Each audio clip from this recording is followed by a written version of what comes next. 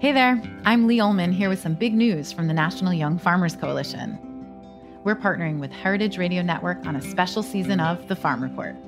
It's all about what's happening with the Farm Bill and how it impacts farmers and eaters. I am growing diversified vegetables on land that's been in our family for 150 years. And so, with the pandemic, gentrification, property values going up, we had to sell the land and we lost it. Join us as we uncover the untold stories behind this massive piece of legislation that shapes how we grow our food, what we eat, and so much more.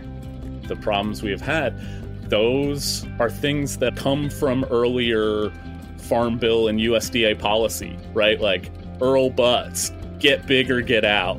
You know, it's my responsibility to know not only what I'm eating, but then like how how that all came to be and realize like wow like this piece of legislation all this money like it's technically something that i support as a taxpayer. While congress debates the next farm bill this is not just an invitation to listen. It's a call to action. Be part of the conversation. Subscribe to the farm report on heritage radio network wherever you listen to podcasts. You're listening to item 13 an african food podcast and i'm your host Yorm tego Every other week, we'll delve into the world of African food, including chefs, curators, and bloggers. Here's the show. Welcome to Item 13, Maria. It's great to have you on.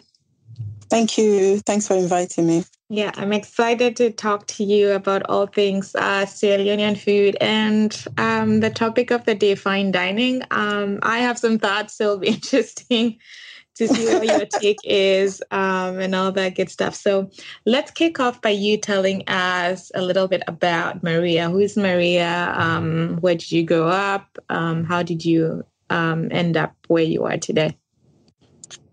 Well, my name is Maria Bradford. I was born and raised in Sierra Leone, and I left Sierra Leone when I was about 18. Um, came to the UK to um, continue my education. Um, I studied an accounting um, degree and um, worked in finance and um, accounting roles for local authorities for about 10, 10 years. But um, cooking has always been like, you know, my thing.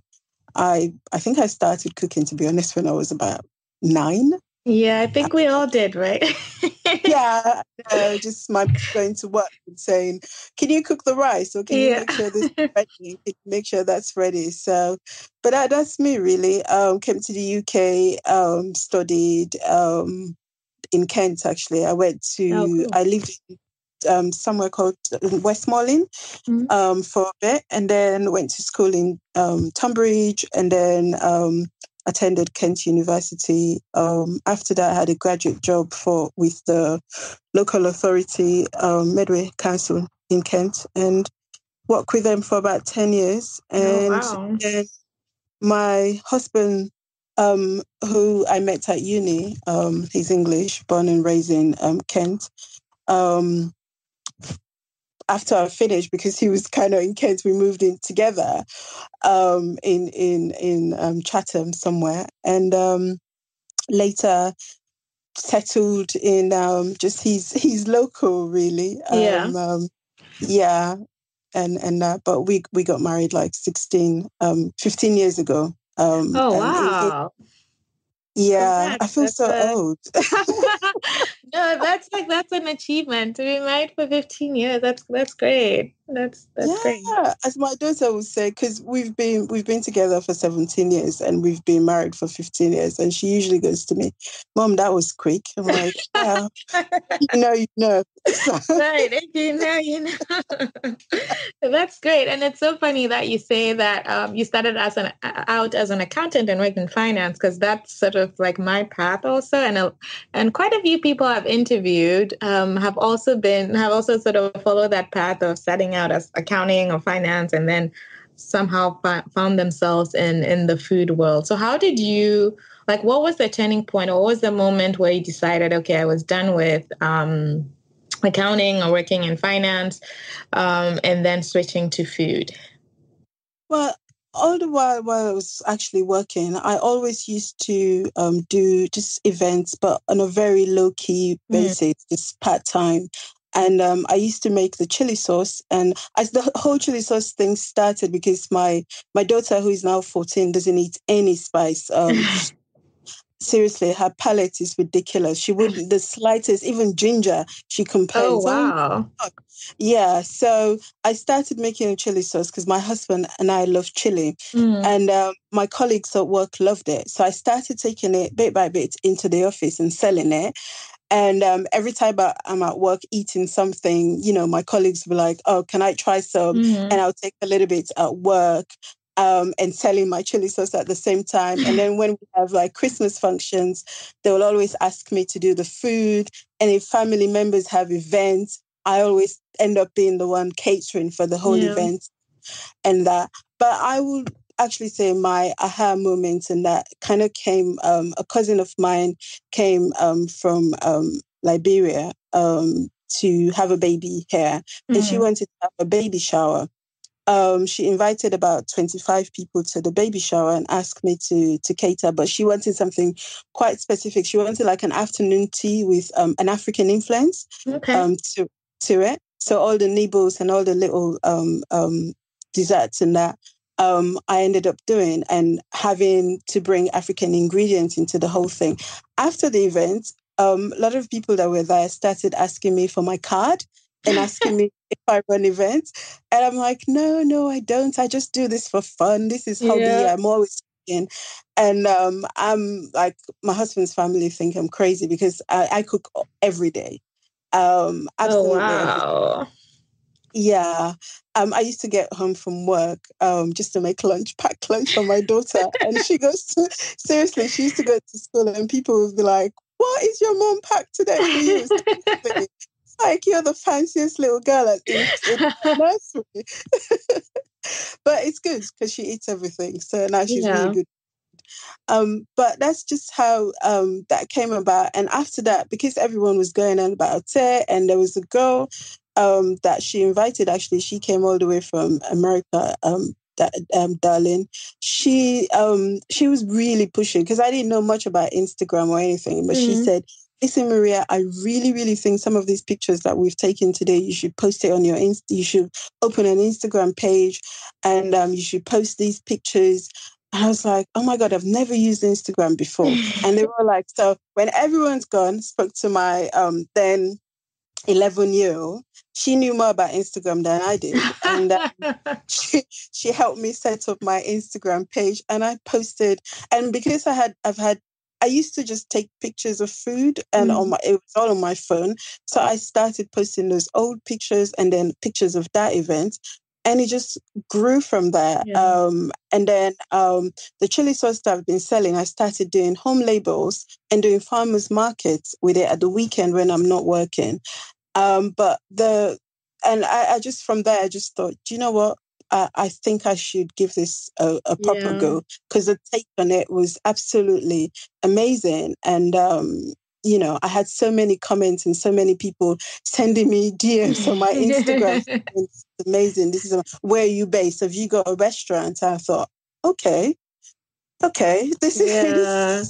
because I, I yeah because i also thought i read somewhere too that you also ended up going to a, go, doing a formal program right? Like a um you did a food and wine. Yes. yeah. So um that was quite recent because um oh okay. again it's the it's the yeah i would say it's the african in me. Because i felt like to to do what I was doing for as a job, I had mm-hmm. to go to uni, I had to study to do that. I realized if I'm going to call myself a chef, I needed to go and do some course to make um, sure that yeah that's I, definitely the african it is the african in me because actually i realized when i was there i spoke to this school. It's a really fancy school in london. I spoke to them and um, i said what do you need to do to start a food catering business? And they looked at me as if i was mad. She just went nothing. You absolutely don't have to do anything. Anyone can run a food business. Right. i'm like really Really? So you don't have to. What about if I want to call myself a chef? What do I need to do? What qualifications do I need? And they're just like, no, you don't have to do anything. But I think what really got me also, and it was when I turned up at the school, which I was really intimidated because um, mm. they've had lots of famous um, chefs um, from uh, this athletes. Um, what really got me was the fact that the principal was like, I'm so intimidated because I've seen your page. When oh. student here, they want to achieve what you're doing already. Um, and you, the way you're doing this, it's we've never had someone have done it this way. People come here to learn to cook. They don't they don't know how to cook and then turn up like, oh well, I still need to learn the classics because um, I think that's really I still wanted to to learn the classics. I want to know that, you know, if I'm cooking chicken, I'm cooking it correctly. Right. If I'm cooking meat, I'm cooking it correctly. If I'm doing this, I just wanted to know the classics and the right. science behind food which um, I think that helped a lot. Yeah, so I was going to say, so did you find that it complemented? Because a lot of the cooking that we do growing up, right, it's done from gut. Like I was actually just having a conversation with someone yesterday about they were asking me for a recipe for jollof, and I said like I've never had a recipe. You know, like you just cook from, I don't know, intuition. You just have a sense, like you know, you add your salt, you add like you know, if you taste it, if it needs an extra oomph of that, this or that, you just add it. So I can't like write down a recipe for you per se. And yeah. so I'm sure sort of that's how you're cooking probably from, you know, intuition yeah. from all of that. And so going to going into a professional course, like how like what did you learn or how how do you think that sort of complemented what you already knew or, you know? But consistency, definitely. Oh, got it. Yeah. Uh, very because once you start serving people your food or making mm. product that you have to be consistent. So I learned very quickly when I started to write things down and to write recipes. Mm. And um, and because I'm I'm always thinking about food, I was quite surprised that 10 actually my husband says about 15 years ago almost, I wrote about 50 recipes that just wrote in books and just left it. Oh, and I wow. never anything about it. So I started going over those recipes and correcting it. But what the school actually, what that gave me was just teaching me consistency and and I was always plan and um, planning as well. You know, I always thought I was like the most organized person, um, and uh, and uh, and I like everything to be in their place, and um, I am a tidy or neat um, mm. freak. But um, it complemented that, and it showed when I was at the school that um, I've been doing everything correctly. Mm. There are some cooking methods um, that I, for instance, um, when um, we cook onions, um, onions is so sweet. It's almost like sugary sweet right. syrup, and that if you cook it slowly. So it also taught me patience because I find um, patience and just giving food time. And um, I never ever knew I don't know how to cook omelette until I went to that school. And I really? um, I had to learn how to do omelette. And I tell you something, it's the best omelette that I've ever tasted. and it's got no color at all. So it, it absolutely complements. And um, when I do my jollof and I do the jollof stew and that, because yeah. necessarily we eat our jollof with stew, I'm, I'm using some of the techniques that I've learned from there. Um, when I do, I'm doing mash um, yam, I'm using those techniques. When I'm doing like pea puree, for instance, I'm using techniques that I've learned. When I'm cooking fish, I'm using because I, I find also sometimes we tend to overcook things. Yeah. Yeah. So actually learn so that kind of that side of things learning to cook things perfectly okay. um, and complements um, the African ingredients that I, I, I, use.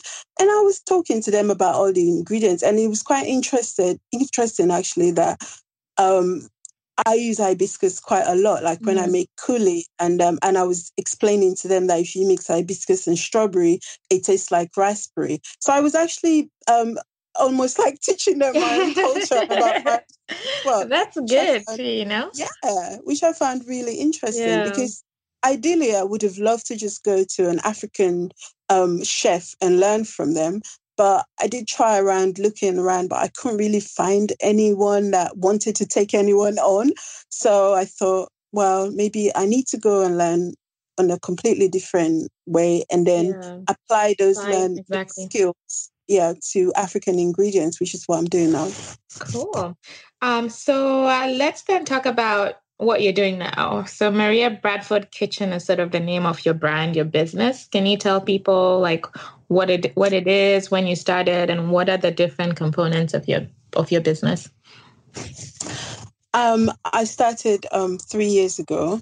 I and since then actually I've created um, some product line because I, I, also I think what I realized, especially with regards to the product line, uh, with African food, I, I don't care how fine dining it is. I think chili sauce is a must on the table. yeah.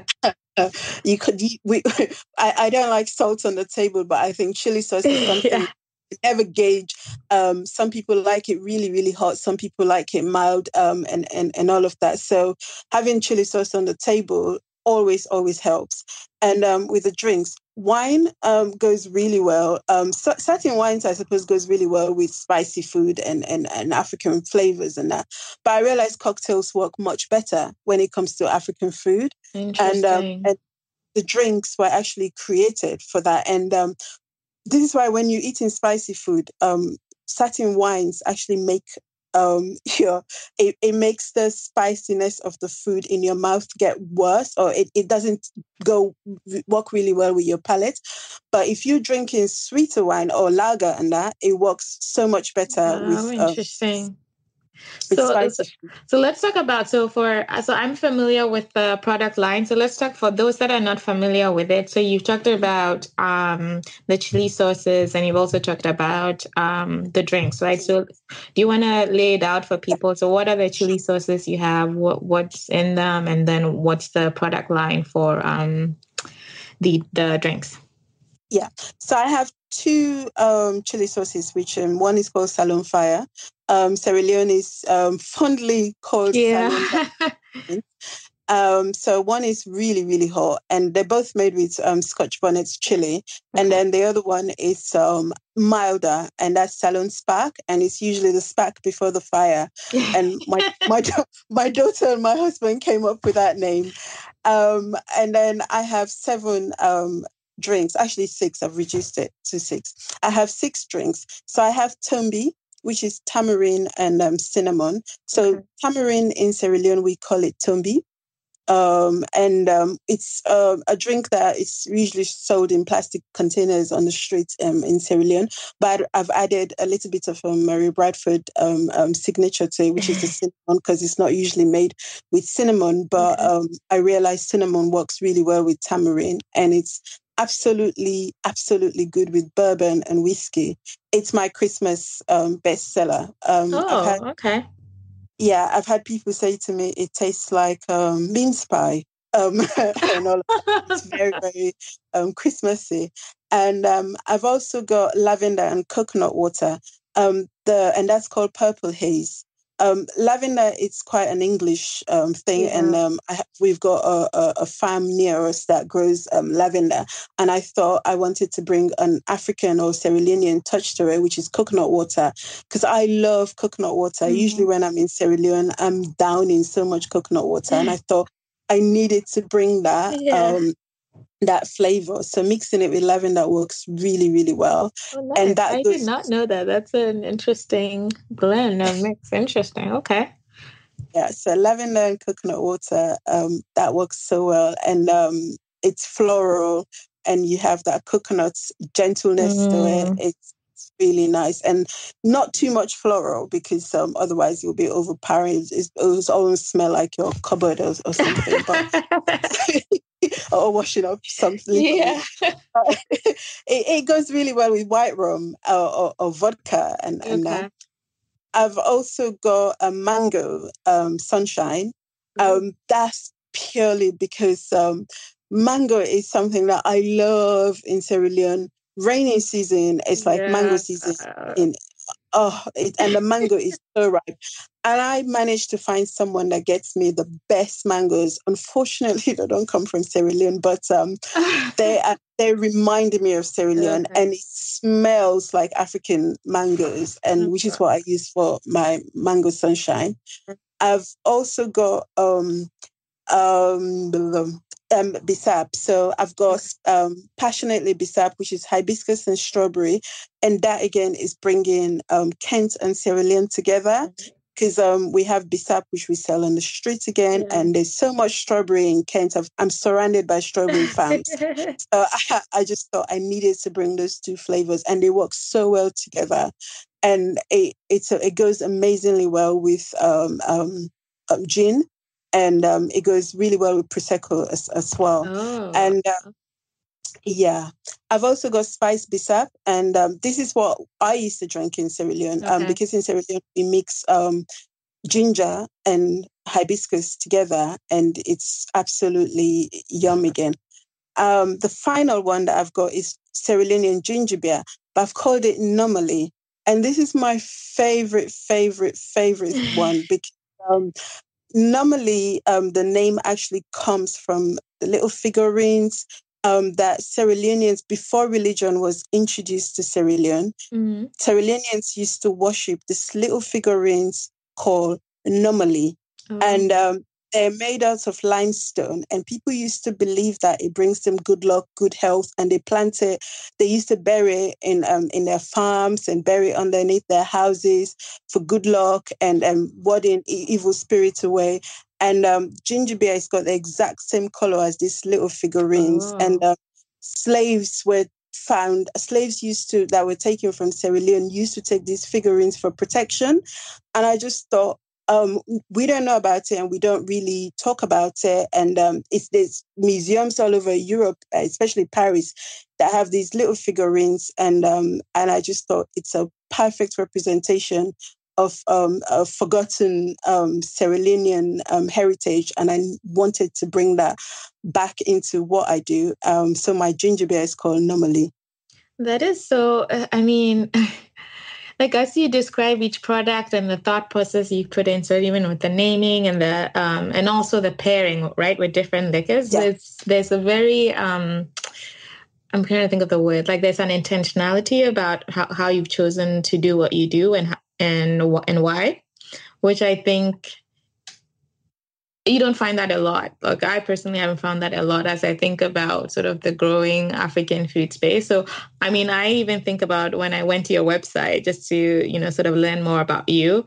I love like I love it. I love the layout. I love the way you tell your story. Um, it's just easy to flow. And I actually was gonna ask you, and maybe I'm going off on a tangent here, like what what's the team? Are you doing this all by yourself? Do you have a marketing team? Like how are you? Because like there's definite it's very clear that yeah. you're not just cooking got, for cooking's sake, right? No, no, not at all, not at all. Um, I have got some. My my husband is um, um, a very very capable businessman. and, um, he helps me a, a lot. Um, he's been running his own engineering consultancy for over ten years, and, okay. and that so he helps me a lot. And I think um, having that support of him actually because I, I find he's my biggest fan, and um, he will wake up three, four o'clock in the morning and create a Canva post for me and just Aww. say, "Yeah, I think this would do well, really well on your on your post." And um, him and my daughter are brutally honest when it comes to food. Um, sometimes so painful because I'll get really excited about something and I'll just mix mix and match some flavors together and I say to them, "Can you try this?" And if it's yuck, they will just tell you, "Oh my god, that's so hot." like no care for my feelings, and, and I I need that, and I I need that. But they also like he just like help push what I do. But I have somebody that created my labels and my websites and that, and which I'm still working on. Yeah. By the way, the website is still a work in progress because um for me, I I, I realize I, am bringing something um, not many people know anything about Sierra Leone. Right. Um, I live in an area where there are not many Black people. There's no Black restaurants around. And I thought if I'm going to bring out um, anything about Sierra Leone or West Africa or anything like that, it needs to be perfect in every shape yeah. and form for people to accept it. It's definitely top notch. Like all the branding, like I looked at the labels on the products, like it's it, it looks really really great. Thank you so much. Thank you. that's that's that, that's that's the thought process behind it. It's just this thing of making sure that um, you know, I, I, I don't know if you know anything about Waitrose and and that and Marks and Spencer. Yeah. Um, yeah. So when I'm when I'm whenever I'm talking to somebody about what I want to do, I want to say I want to imagine my food uh, on Waitrose and Marks and Spencer's it definitely looks it definitely looks like it fits right in there for sure. So, every single person that works with me i'm always saying to them have a look on Waitrose have a look on max's and um, i want to make sure that that's what we're working towards because i, I really think you know and also people that really um, think about what they put in in their body and and food and food. They look at the packaging, they look at yeah. the labels, they look at how you're presenting yourself and how you're presenting the food. Um, and it's my products are new, so they need to stand out, and that's what I've always kind of wanted to to to do that. No, I think it looks it looks great, and I'm excited. So where um so right now you're just retailing off of your website the product. Um, so I'm doing off my website, and okay. um, a farm shop near me also that sells my products. Okay. Um, so um, with them, they contacted me a few years ago and asked me to do a food demonstration um, for them um, as a as a chef.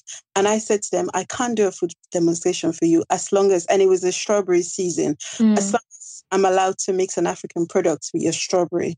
Um, I can't just do. I said I have to be very, very much. Um, it has to have a very, very African take on it. Um, and if you're open to that, then I'll do it. And they said, yeah, yeah, we, oh, would love absolutely.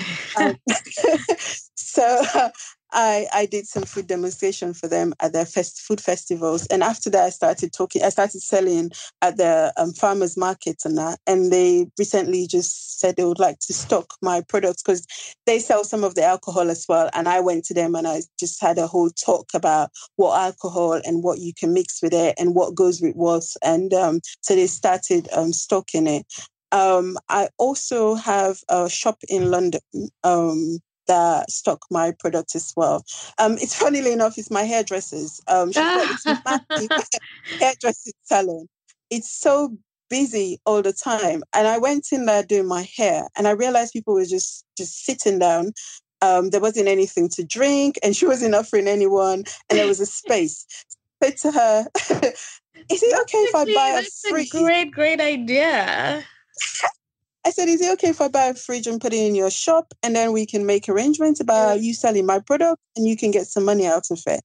And she was like, oh my God, that's such a good idea. The f- As soon as I got home, I ordered a fridge, got to her shop. She sells more than the farm shop. Oh, wow. I know. Wow. That's that's actually like an amazing I mean, if you think about it, you could actually probably start looking at, you know, black salons around around the UK. That's like a brilliant like marketing uh, strategy, actually that's that's the plan that's the plan. So mm-hmm. i want to um, sit down. So um, the plan is after my event actually to sit down and draw up a, a, nice contract for her and anyone else that wants to come on board. I've contacted a few of the black salons. They're definitely thinking about it and i want to draw up a contract and an agreement with them. So everyone's very very clear about yeah. what their takes and what's happening. That's important for sure a, a, business relationship, but that's the plan because I realize they sell so much more. I also do farmers markets. So I do farmers markets around um, Kent um, most weekends, um, which is a really good platform for selling my events mm. and um, as well and selling my products. And also just um, it's almost like an educational thing as well about African mm-hmm. and um, African food in general. Because um, funnily enough, usually the minute I say my products are African inspired, they go, Are you from Ghana? Ghana again. No, I'm from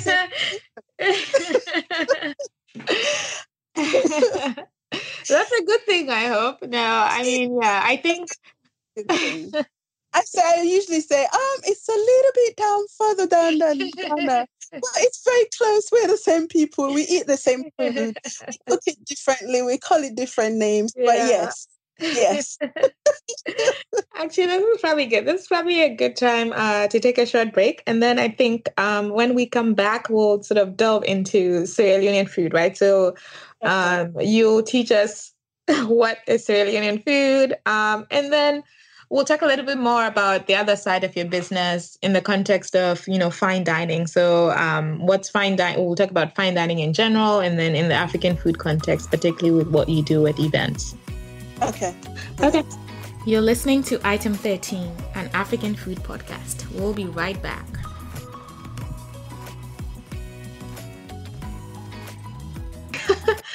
okay, so welcome back. Um, we're now going to go into more about what Sierra Leonean food is is about. So, um, I I guess the closest I've had it, it probably is Sierra Leonean food. Like we um did a couple of events in uh, New York and DC earlier this summer mm-hmm. with um, a Fulani chef. So, yeah, uh, she's from Sierra Leone, and so I guess obviously that is Sierra Leonean food. We did I mm-hmm. some of the food I'm trying to remember off the top of my head were like um, these fish balls we did, and there was a mafe. Yeah. And like pumpkin stew, which I remember telling her I didn't even know that we had like we did pumpkin like in, in this part of Africa. I know when I lived in Southern Africa, like pumpkin was was big, but um, mm-hmm. so yeah, so that was sort of my introduction to Sierra Leonean food. So if you could, you know, educate the rest of yeah. us so that we're not. Definitely. Um, I will say for Sierra Leonean food, if you've made any Sierra Leonean, um, the first dish, or in fact, I'll call it a national dish. A friend yeah. and I, who is also um, a, a, chef, we were discussing whether we should have um, the cassava leaf plant, um, plant on our flag, just like the Canadians have. Because uh, cassava leaf is a national dish, mm. and uh, we I, I, think we're the only one in um, West Africa that eats cassava leaf. So um, we eat the roots and then we eat the plants as, um, um, as, as, well, the leaf as well. And the leaf is actually meant to be quite poisonous as well if it's not cooked properly. Yeah. So I actually was, I literally, this is so strange because I literally was just reading, uh, I don't know where it came from. There was an article like literally this in the last 10 days, I'm sure, that was saying, I saw the headline, I was trying to, I was trying to skim through that saying cassava was po- like poisonous. And I was like, wait, what? And then I went and started talking about the leaves and I was like, oh, I, I don't even know who wrote this. I don't have time for this right. And then I never went back to it, but that's, that's interesting. Yeah, so if if it's not cooked properly, it really gives you terrible stomach pains and um, ah. and, and, diarrhea. But um, that's our national dish. We just we just love the challenge, to be honest. Yeah. So how do you cook it then? Well, oh, cassava leaf is with so many um, stuff to it. So you can cook it with um, palm oil or you can cook it with oil. Personally, I like cooking it with coconut oil because um, I, I, think it tastes so much better. Um, you so you start by really boiling the the cassava leaf down. So and also we put something in it called ogiri, which is fermented sesame seed. Um, like I think that, egusi in no, the Ghanaian context, or no? No, no, no, it's not. So we have sesame seed, and oh, those are melon seeds. Okay, got it. Yeah, so sesame seed is boiled down, and then we put it in like palm stuff, and then leave it to rot. Um, uh. When it rots, it's got this this really nice fermented um, um mm. um, smell. It smells a bit similar to Iru, which is um the locust. Yeah. yeah, so it smells that same kind of rotting oh, smell. Okay. But it's so good. it's so good. It's really really good.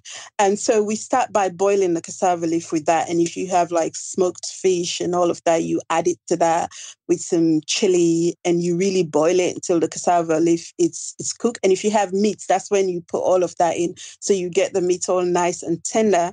And the cassava leaf goes from a bright green to a really dark green. And then you will add peanut butter um, to it. And then whatever oil you're using, whether you're using palm oil or using coconut oil, you will add it to it and um, cook it furthermore to get all the peanuts really nice, um, nicely cooked. And then you end it by adding um, some smashed up okra to it. So it's uh. used as a, so the okra is actually used as a thickening agent. Um, so it makes it really nice and thick. And um, um, if you're from like my mom is um, Madinga, but um, she grew up and she was born and raised in Bo, which is the southern province of Bo, and she speaks uh, of Sierra Leone. Sorry, so she speaks Mende, so they cook like the Mende people. And the Mende people apparently in Sierra Leone are like top when it comes to cooking. Okay. Um, these green leaves, which we call plasas. Um, and you have to cook it so there's li- virtually no liquid in it, just the oil and that that is settled on top. And you eat that with rice. But it's like, seriously, if you're Sierra, uh, I usually say if you're Sierra Leonean and you don't like cassava leaf, there's a problem. there's a massive problem. and the longer you leave it, the tastier it becomes. Seriously, even I my husband. feel like you I can feel you like getting I'm getting emotional about it. my husband, who just started eating cassava leaf when he met me, yeah. will say to me, can we leave it tomorrow when we do like rice in the morning for breakfast mm-hmm. and we can mix it with it? Yeah.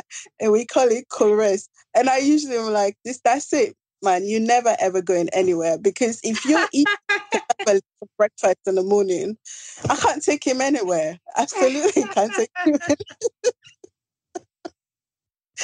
but that's that's one of our, our favorite um, um, dish. We do have lots of other greens that we cook, okay. which um we cook like the pumpkin that you mentioned.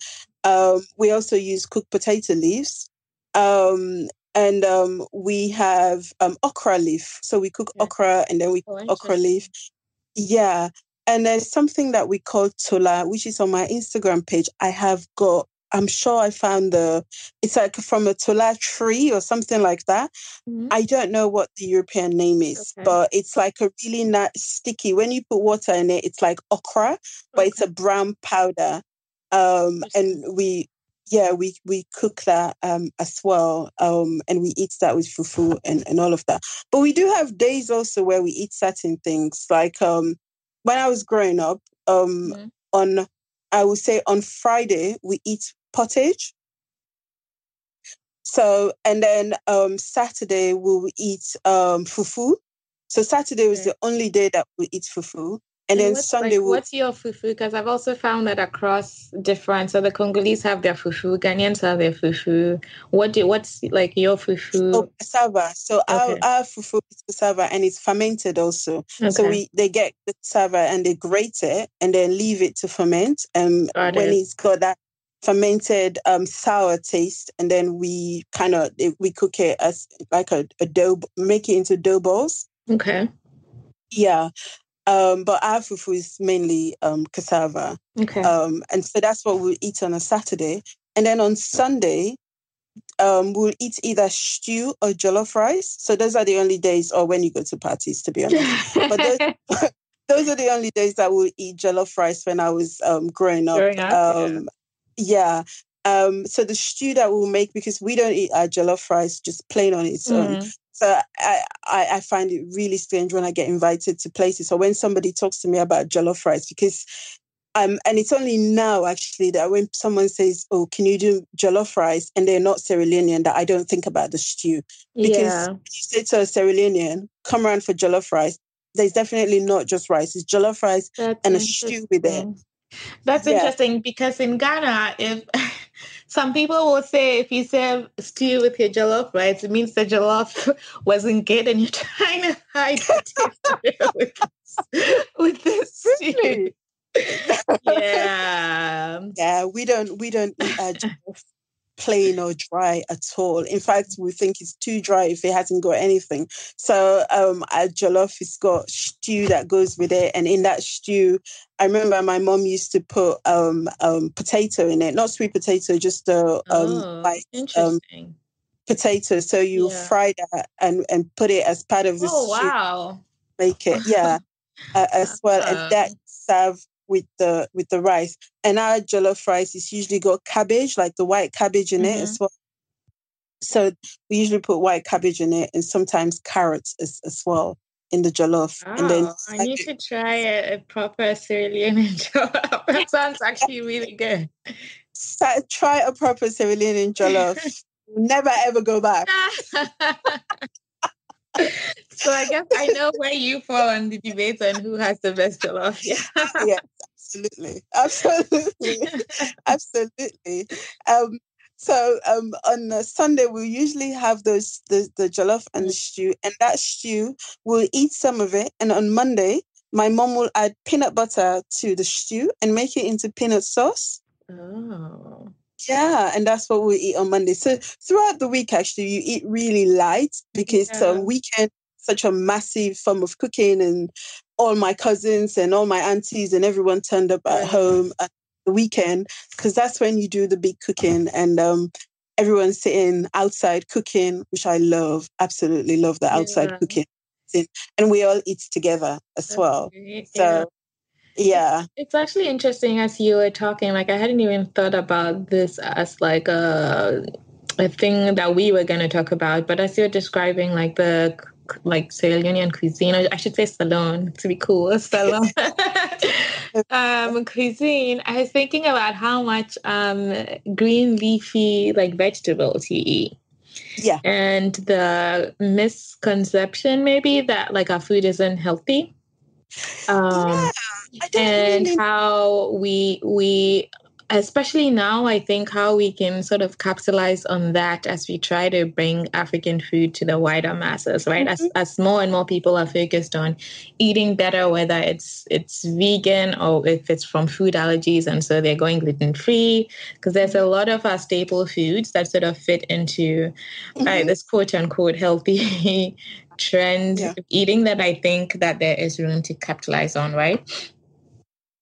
Yeah. Oh, absolutely. And um, I'm always saying to people, saying that African food or um, is unhealthy. It's just when you don't have knowledge about it, right. because um, it's so much green, and um, and we eat balanced meals right, well. Exactly. Lo- our our greens will have so much in it. Like I described cassava leaf how many European food that will have the fish, the protein, the right. peanut butter, and the good oils and all of that, and even yeah. palm oil. They're going on about how bad palm oil is, but that not much investigation have been put into palm oil. But because when you read into how, what palm oil's got, like two tablespoons of palm oil, it's got more carotene than um, carrots, um, and and that.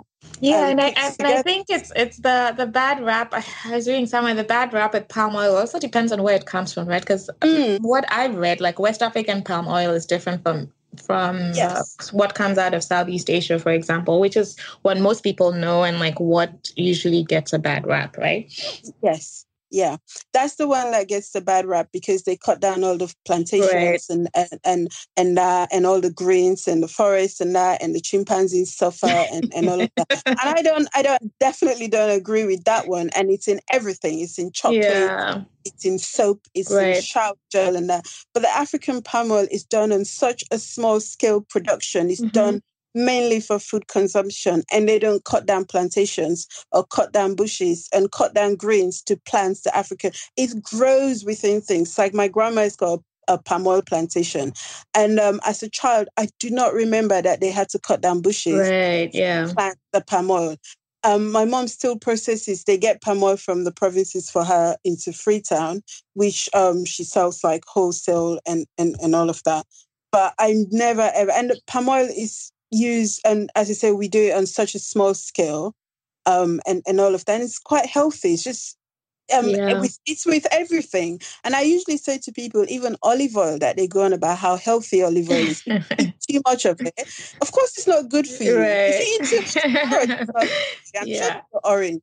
So it's just an excess of everything, you know, um, that yeah. not it's not good for you. But as we learn more about African food and we learn to appreciate our own food, we realize uh, when people say, I'm going on a diet, I'm not eating African food, I usually go, like, what are you talking about?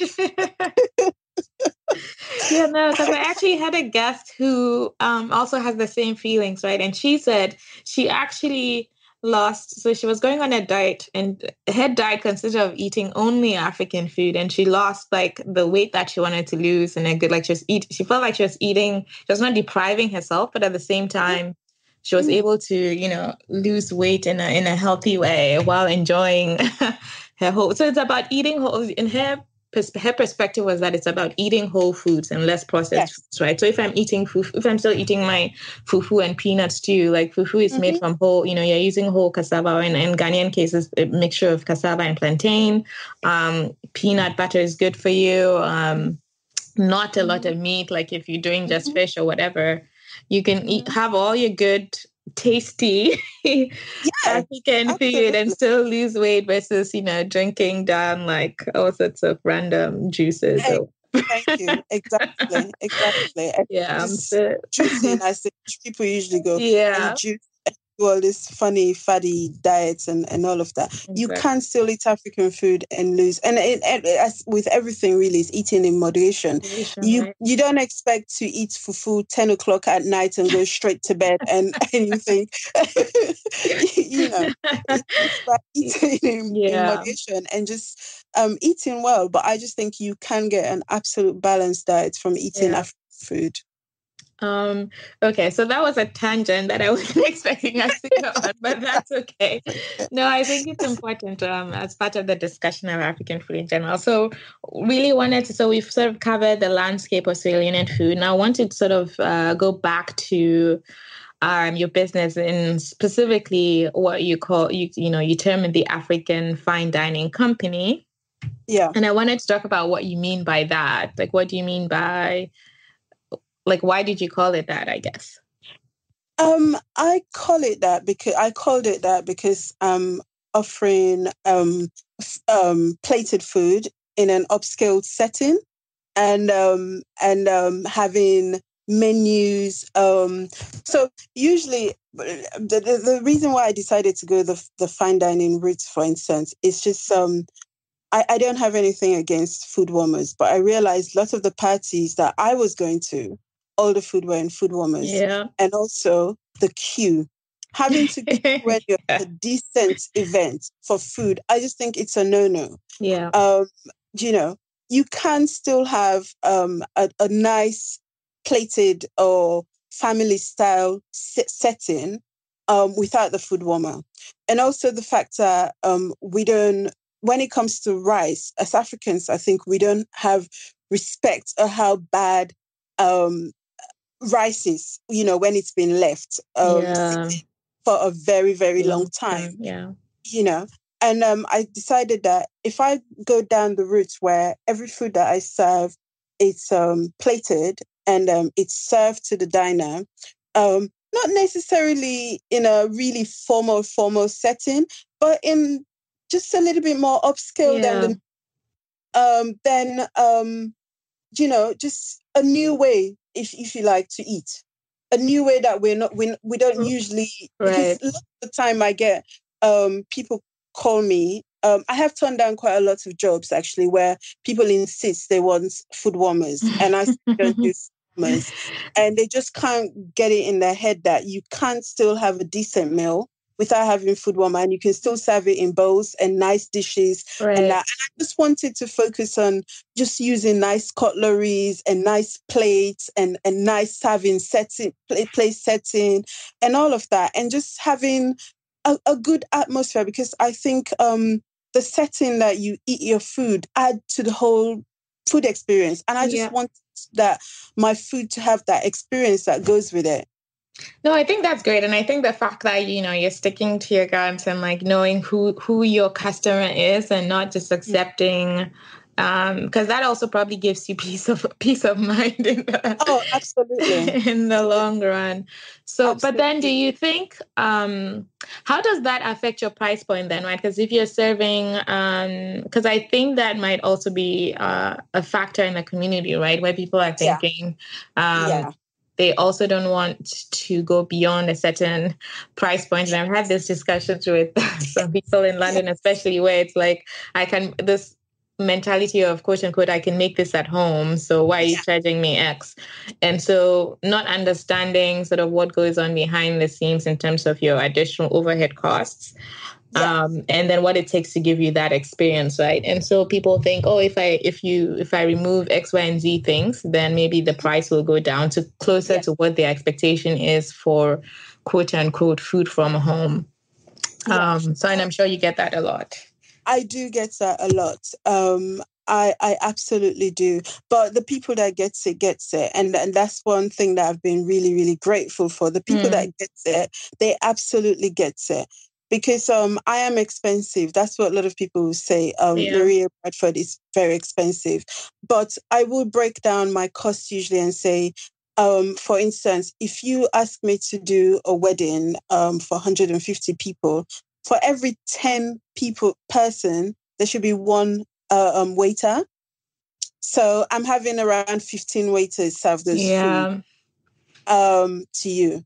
Um, and um, I'm having kitchen help and, and all of that. And that adds to the cost, of right. course. But what you are getting is the fact that you don't have to queue for your food and you eat from a really, really nice plate yeah. and you eat um, with very nice napkin and um, and you you drink from a proper wine glass, a proper glass, and a really nice place setting. That's what you get. And the people that get it, and I realize I'm not going to be able to challenge those people that do um, the um, food warmers where you use plastic papers and plastic yeah. cups and um, plastic and disposable stuff.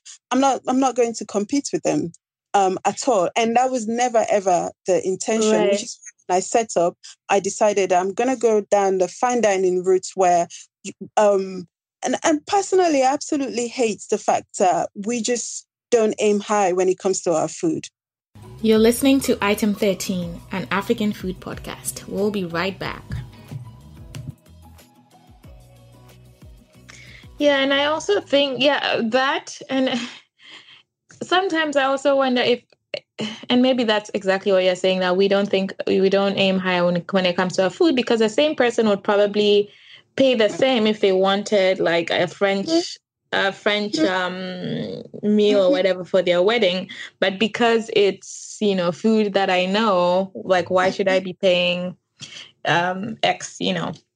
No so that's yeah. great. Like i mean i'm i'm i'm glad to hear that there's that and it's good for um, the diversity of experiences also right? You know so people that do the you know the mass scale um, heat warming thing have their place in the market and then you also sort of are creating your own niche in the marketplace right?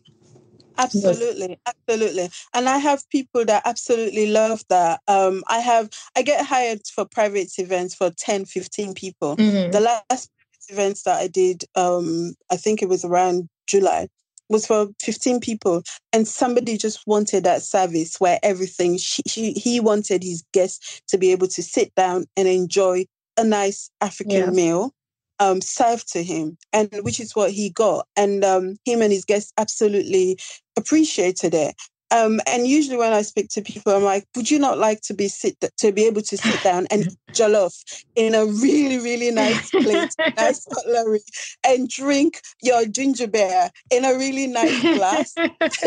would you not like that? That's what you get. And I will yeah. break down the cost for you and you'll see that I'm not trying to be um, expensive unnecessarily. Right. Um, there's cost attached to the waiters that are going to serve you and, and, and, and, and, and all of that. So if you want that service, then I'm here and I'm ready to offer it. Um, and and uh, and the ones that want it, absolutely go for it. I've done weddings um, in London for over 100, 200 people, um, and the bride was absolutely happy.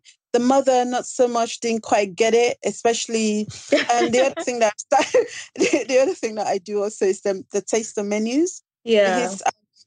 I I like eating very, very little. So I wouldn't call it tapas because I, I really think it's not tapas. Mm. It's, it's like tapas style, but it comes in a taster form where people get to sample different parts of different African things in yeah. one sitting if you if you like so um and i've had brides that have gone for that like a whole six course um, mm. meal and you get people are eating more like that. And I get with Europeans when I get hired, I get people that hire me that don't know anything about African food at all until the day they come for food tasting.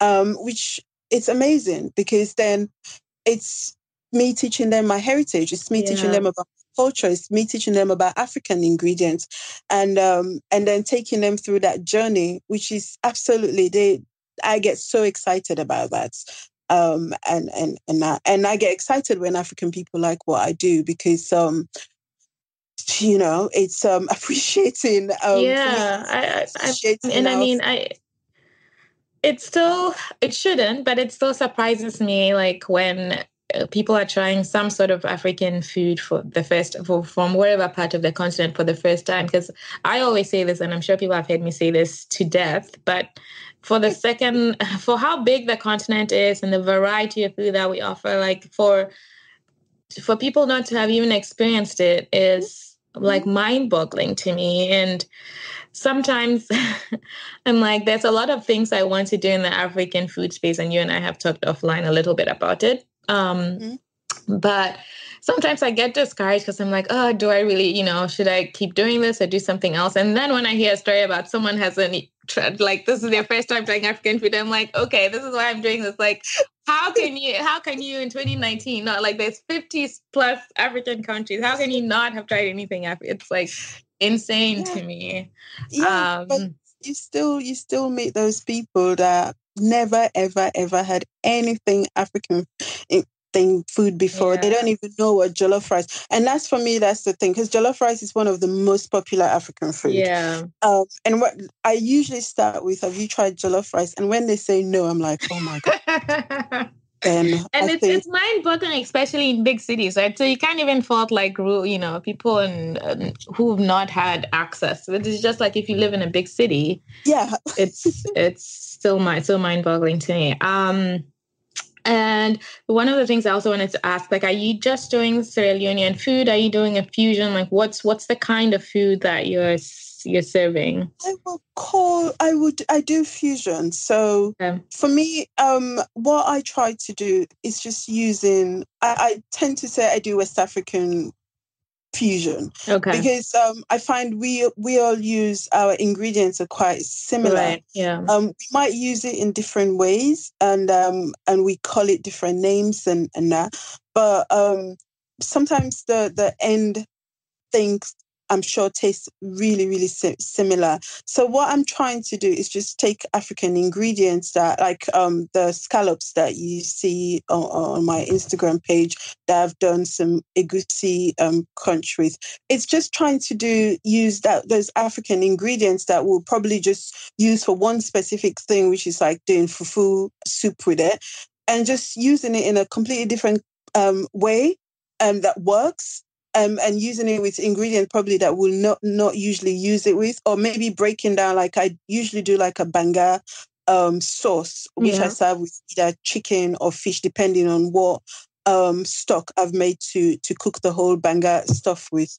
Um, and um, I, I think just I would say I do quite a lot of Afrofusion stuff. I do do the traditional thing where I'll do cassava leaf because I think there's certain flavors and certain um, national or heritage food, I, I, really think that shouldn't be touched or okay. shouldn't be broken down. Yeah. Like when it comes to cassava leaf, I cannot think of any other way to break cassava leaf yeah. down. I think, and, and just based on the way you talked about it, I'm sure that you know.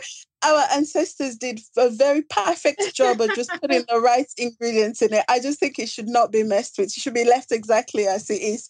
And um, so those are the things that I wouldn't break down. And um, you know, we do egusi soup. I'm sure Ghanaians do egusi soup because I know Nigerians do as well.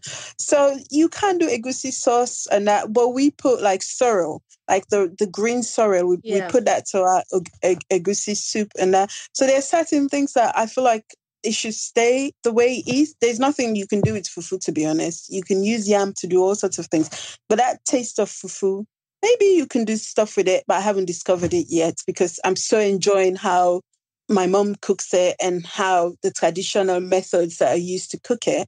But using hibiscus and using other African ingredients to create things like um, um, I do lots of croquet using yam or cassava, depending on what flavor I'm putting into it. Because I realize cassava works really well with parmesan. Oh. cheese.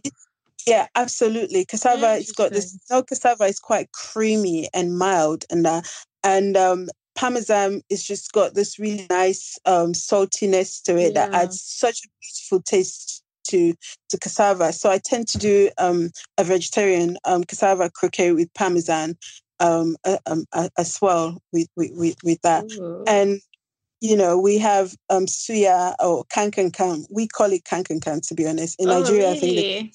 Yeah, and I yeah. call it uh, suya. Oh yeah. So uh, this is um grilled, some sort of grilled meat with a spicy. Yeah, so, okay. Yes. Yeah. So we call it kankankan, which is street food, and we do it with meat and, and all of that. So I I use um I use those spices. So I make those spices and I use it on meat. I use it on cauliflower steak because sometimes when I do events and I have vegetarians, I'll use it on cauliflower and it makes a, a mean cauliflower steak um with butter bean smash. I'm like getting hungry. we we cook lots of butter beans and pulses like black eyed okay. butter beans and those yeah. stews um, in Sierra Leone. So I tend to use those pulses quite a lot for different things and to make um, um, different um, stuff with it. But I would say I do quite a lot of Afrofusion stuff. Okay. Well, that's yeah. that's that sounds. If anyone like it's lunchtime here, so I'm like listening to all of this, and I'm like, oh god. um, one of the things I wanted, one of the experiences I wanted you to share was, um, especially, you know, um, running sort of events like this on a consistent basis. You know, you talked about consistency earlier. Um, mm-hmm. you know, you do a lot of that in England, and I'm sure you've done at home, and uh, you said in Liberia also. I wanted to share for the so that people sort of get a sense of what it's like to to run, especially as you start getting 200 plus people. I know you had an experience in Sierra Leone. So I went to Sierra Leone to run um, an event, one for for a wedding actually, a wedding um, cocktail hour, and um, the cocktail hour was for a thousand people, and I oh did all my. the drinks um, for that, which went really, really well.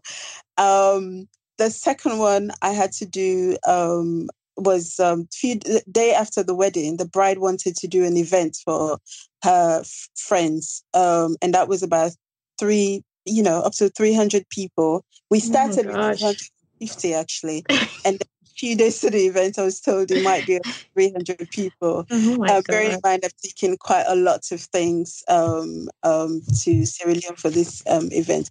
But the the first thing that got me here, I'm used to working in commercial kitchens, which is mm-hmm. all fancy and set up, and um, the hygiene issue is top notch. Um, you know definitely when you stack in fridge in a in a home or commercial kitchen that the meat product comes at the base and all the the greens goes at the top so you don't have um, food contamination and everything. Turn up in the kitchen and um, they had this um, fly catcher that was hanged in the kitchen and it looked like they haven't cleaned it for days and i was literally like pulling my hair and then we had um, the oven so the oven gas was a gas oven and you have to press lots of buttons and hold it for ages before oh that God. comes on. And when it comes on, it's not like the full fan oven where um, you get heat the whole way. It's just at the top of the, the, the oven. And I had to serve, in all this condition, I had to serve six course meal. Wow. And if I hire a kitchen assistant here, so if I say I want a kitchen, um, uh, not just of someone to wash up. If I say I want to hire like an assistant chef for the yeah. day or for a couple of days, if I have very big events, mm-hmm. they know exactly what to do. What if to I do, yeah. Pan fried chicken for me, they know exactly what to do. If I say, can you finally dice this for me, they know what to do. I went to Sierra Leone not thinking about any of this just saying to people, can you chop this parsley for me? And they will cut it like they cut potato leaf green. I was like, oh my God, oh my God. Or you say to someone, um, can you grill this for me? And they will put oil in the frying pan. No. And no, that's not what I mean. So I ended up being the chef, oh um, just being in charge of absolutely everything. I couldn't even ask one of the um the the the dishes I couldn't even ask someone to season nothing for me because also I realized people eat way too much salt. Right. Yeah. And um, the fact that I wasn't using Maggi was also a massive. Right. Oh my God, that's a whole other discussion. I, oh, it was. It was a big thing to everyone that was helping me. The fact that I wasn't using Maggi. And I had lots of different flavors and, and spices and that, that I was using and um and stock that I was making and all of that. It was so strange. I remember just the final thing, just getting ready, and somebody said, "Oh, you didn't even add Maggi to that." I'm like, "Oh, oh my, god, do not add Maggi to my food." And it's just, uh, but it's just not not being able to get yeah. like, and and also, you know, um, Sierra, Sierra Leone is not as develop as um, probably Ghana and, and that, we still have a society that doesn't really respect um, people doing stuff with their hands, um, oh, say chefs. And um, people don't leave school and say, "I want to be a chef. I want to go yeah, and learn." I mean, I think, I think there's still some of that across across the region, not even the continent really. Where I mean, I think because of popular like food TV shows, it's becoming more respectable. But I still think, uh, unless you're sort of on top there, it's there's still a sense that um, yeah, school is school is the first place to go. It is, um, and you find people th- only think about going to catering school or learning to cook if they haven't had um, enough education. Right. You forget that you do need that education to be able to apply it to food, just like any other any job. Other thing, yeah. Uh, you know, um, you, you you do need that um, education to be able to to do all of that. So it's um it, it was um a challenge, an absolute challenge, and and uh, um, but I managed to to to do it and serve six course meals. And that's crazy. Uh, everyone was happy. I did with what what they got, but I ended up having to literally be covering everything. That's, and it was one of the hardest things that I've ever done because I've never had that experience here. You know, I've done weddings, big weddings here, yeah. but I've always people that know exactly what. Right. So it's uh, you need to have the right team, right, to be able to pull off. Uh, oh, you absolutely do. You absolutely do. Um, when I had um, when I've had events here, in fact, you know, I've got an event coming. I will hire um, an assistant chef for the day that will help me out.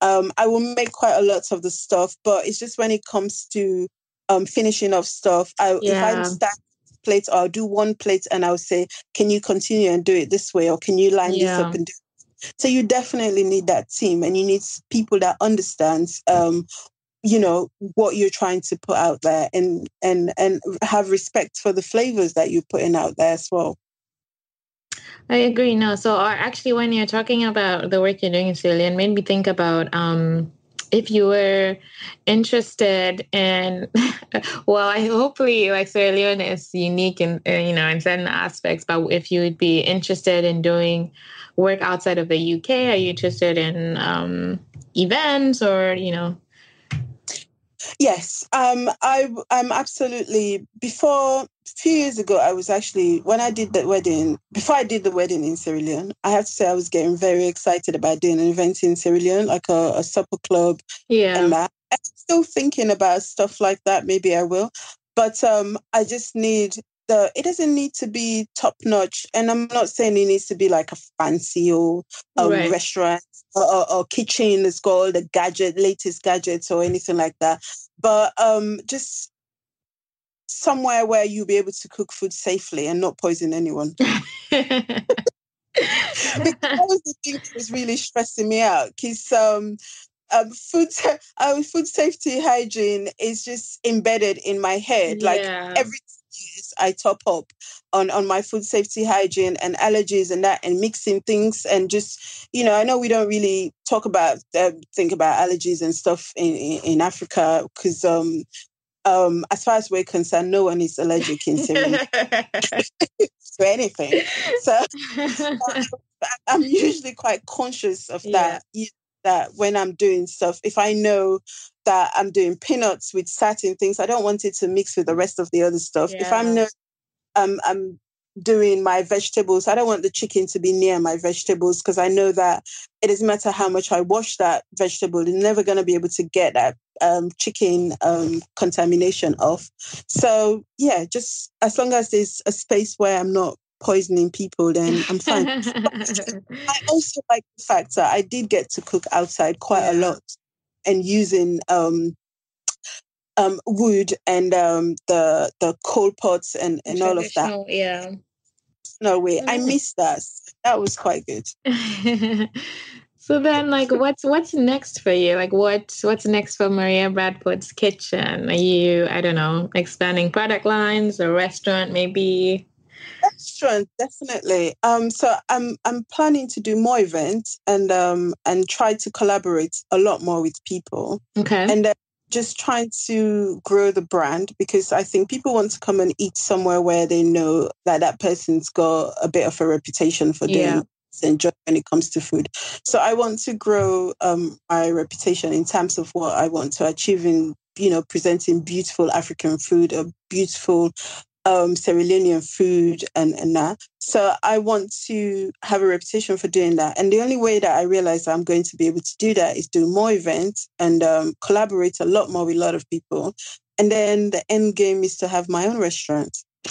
Awesome. Yeah, because there's not a lot of um, brick and mortar um, African restaurants, you know. And so actually, I had a friend who was visiting London um, a couple of weeks ago and had sent me a message asking for recommendations for African restaurants to go to. And a lot of the people I thought of like have pop-ups only and so if for the week that he was there they didn't have a pop-up situation then he wasn't going to be able to to try it so i mean i know there's a lot of barrier like financing being the biggest barrier um Yes. but it would be is biggest is the biggest barrier, but also for me personally, finance is a big thing. But finding the right location, um, it needs to be somewhere where, because I, I don't just want to do. There are lots of um, African restaurants, but it's usually you know there are a few shacks I, I usually call them, and um, there are a few proper places, but it's still kind of just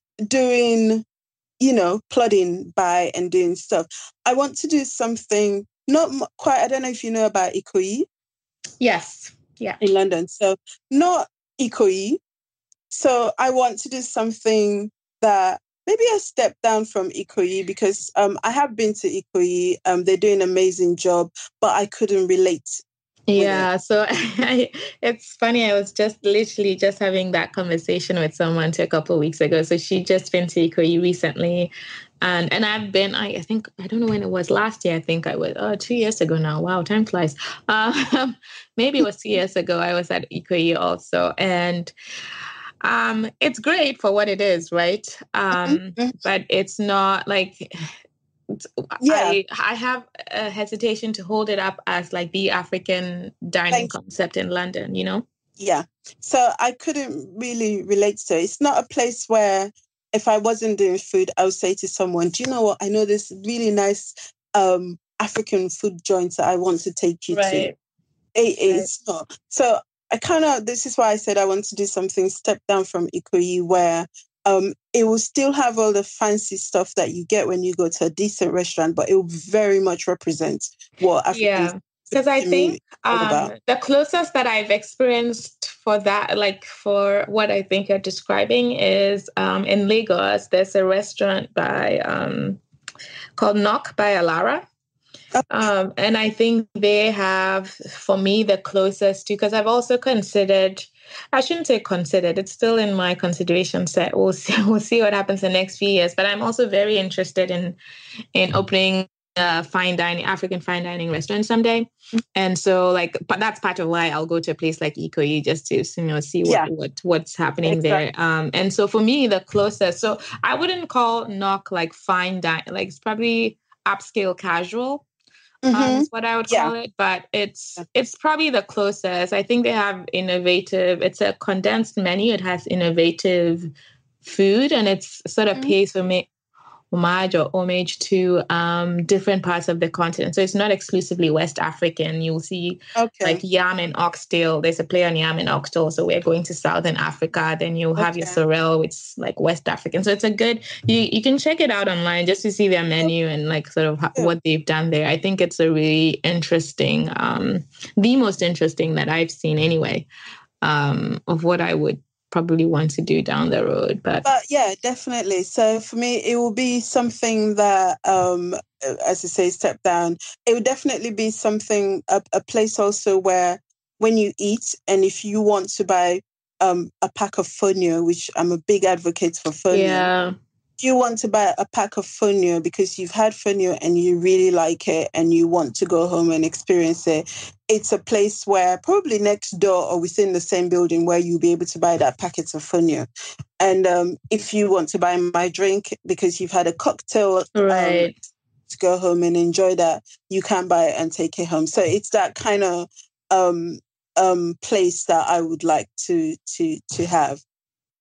Oh, and cool. also, you know, for me personally, I think it's also about I would like to have somewhere where I'll be able to invite other um, chefs from all over the continent, really, the African continent. Yeah. We might have a day where it will just be Ghanaian food being served. As long as they kind of work, um, that person work within the same Maria Bradford kind of concept of right. really having a tasty, well presented African food I'm all up for it. So because um what I what I find um as an African chef, um you uh, it's almost you know you don't have that many restaurants that you can go into. We're not very friendly. Um i've written to so many different african restaurants within london trust me. Just to say you know i would like to talk to the person that cooks. Right. i'd like have a, we're not very open about encouraging each other to really um, um showcase it is. It is rather unfortunate. Um, except if you know someone, um, maybe that's how it is all over the place. But um, I get so much joy if I just pick the phone up and call like a European um, place and say, "Would you like to experience? Um, yeah. Would you like to have a conversation about what I do? Um, I'm an African food chef, and um, this is what I do." And they're more open to say, "Yes, come down, let's have a chat." Oh, wow, yeah. that's amazing but if you do the same phone call with an African restaurant, they wouldn't even reply. it's it's unfortunate, and it's it's it's um no, it's interesting because when you talk like that's in terms of even having, I'm gonna go back to what you're talking about with like having um a I'll call it pantry for lack of a better term, like where you yeah. sell. So I like it's interesting to me. Like I have thought about that, but more in the context of selling like gourmet African, yeah. um, mm. African food yeah, products. That's, that's nice, uh, and so, yeah, I mean, like, I, I think that you're thinking in the uh, personally, like, not that I'm, but I like the way you're thinking, and I'm like, no, I think I think yeah, we need, we need uh, more people to be shooting absolutely, absolutely higher, right? And so absolutely, because I, I really, really feel like if we don't push ourselves and put our stuff out there, somebody else is gonna come and do it. That's got yeah. I'm like, I literally like just yesterday, I was like, I saw plantain chips on Amazon, and I was like, um, and not just like someone is selling their plantain chips. It's like branded. It's Amazon plantain chips. Mm-hmm. And I'm like, how have we gotten to the point where I mean, um, Amazon is its own thing, but like how I could, like, you know, I'm gonna go off on a tangent, but you know, when I see stuff like that, I'm like, I bought it because I want, I saw it and I wanted to try it, um, just you know, for my own uh, quote unquote research purposes. But it's just like, how how did we get here? Absolutely, but you know. But I, I'm, and also it's just you know we keep encouraging each other. Like um, know, this is completely um, off track, but um, I don't know if you know the lady Zoe from Ghana Kitchen. Yes. Yeah. Um, I don't know Zoe. I've never met her. I've never spoken to her. She follows my page. But um, quite recently, she, she did a TED talk, and um, without actually contacting me or talking to me, she decided to talk about me, which I thought was amazing. It's yeah. just not something that I'm I'm used to happening. And um, because sometimes you find when people are doing food and you send them an email, because I like if the minute I see somebody doing African food, I'm all up for it. I'm usually right. a, a, DM or send saying hi, oh amazing job. Because I, I just think if we're not um, pushing our own stuff and bigging each other up, seriously somebody else is going to come and take yeah and I, I, mean i think I, I, also think there's there's room for for everybody you know yeah. and so like there's no there's there's a health some healthy competition is good. Um i always say I don't know who who said this, um, but you know, when when you think of when you think your idea or whatever has been is, is out there has been there, like just go to the grocery store and see the number of brands that sell water, or, you know. So there's there's room for everyone, and um, I think you're right in that we should be encouraging and building up the community versus. Absolutely, it's also good for the end user, really, the customer, because um, it kind of makes us once more um, as uh, you know, if I was um, um, um, uh, just buying or looking for a chef or looking for a caterer to do an event for me, I want somebody that challenges my palate, somebody right. that challenges my food thoughts, somebody that makes me think about, um, you know, what I'm putting in my mouth. And um, and I, and I think as consumers, people really need to start like asking these questions and challenging people that do these foods and just say you know and just wanting more we need to want more from from from us really they need to want more from us because the more they want the more we challenge ourselves and the more we want to be better and we're not just stagnant because um this is not just about the continent now this is about us bringing ourselves out here and just yeah. saying do you know we have good food, we have healthy food, we have superfoods, we have amazing food. Right. We can actually feed ourselves and we can survive on just eating our own food and being really healthy and having a balanced diet. Yeah.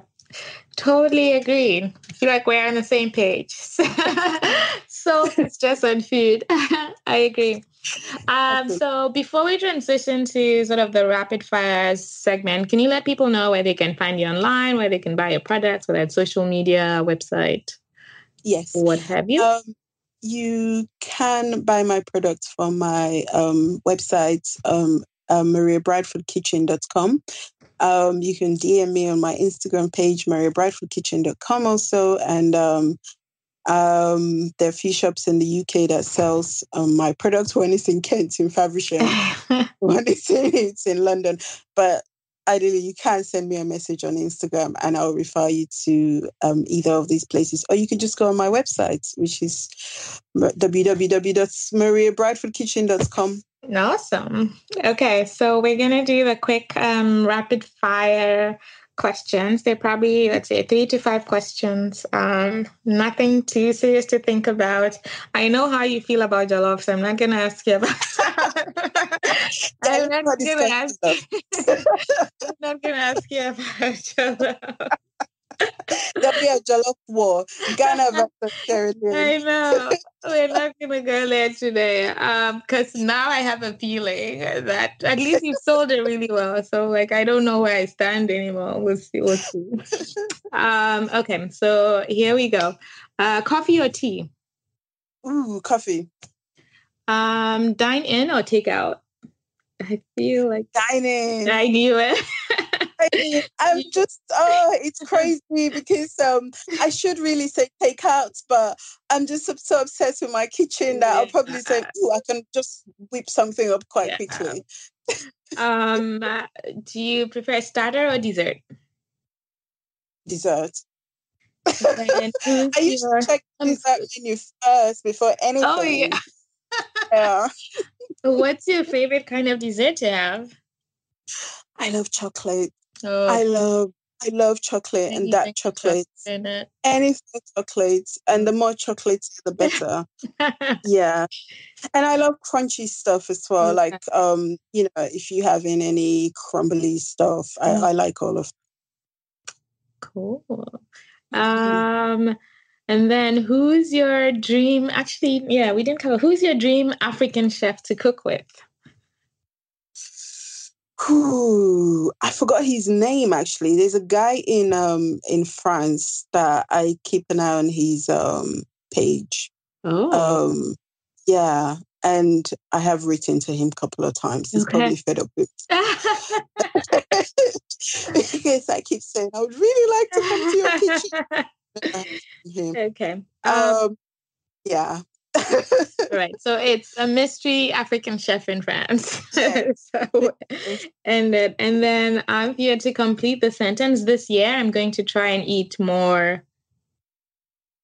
More greens. More greens. Good. Good. All right. Yes. That's it. See, that was easy. I can see that. I had to think about it. I'm thinking I'm gonna try more, more what? More chocolates? Maria. Dark oh, chocolate, chocolate is also good for you. Can be good for you. Dark chocolate, they say. I love dark chocolate. I don't like milk chocolates, so and see that's good for you. So you could always, you could also eat more of dark chocolate as well. Yes. what you say is good for you. You're talking about me just having one or two things. I'm talking about sitting down and eating a whole block of sure that's not good for you. Okay, yeah. then maybe in moderation, like we talked about. Yes, I need to learn that when it comes to chocolate. Well, this has been great. Like I know we scheduled like an hour. We've gone way over our time, but I think it's because we we just. Um, like I enjoy these conversations. I think it was a, a very easy going. It was easy to talk to you, and um, I think we agree, you know, we have the same ideas about the African food landscape. And it was great to, to learn about Sierra Leonean food and your ideas and fine dining. So it was real it was real pleasure to chat with you and um, all the best with with you know with growing your brand and with everything else that you have planned going for you.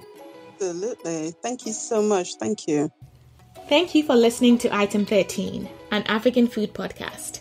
If you like the show, please subscribe, rate, and review us on your favorite podcast app. To keep up to date, follow us on Instagram, Facebook, and Twitter at Item 13 Podcast. Thank you.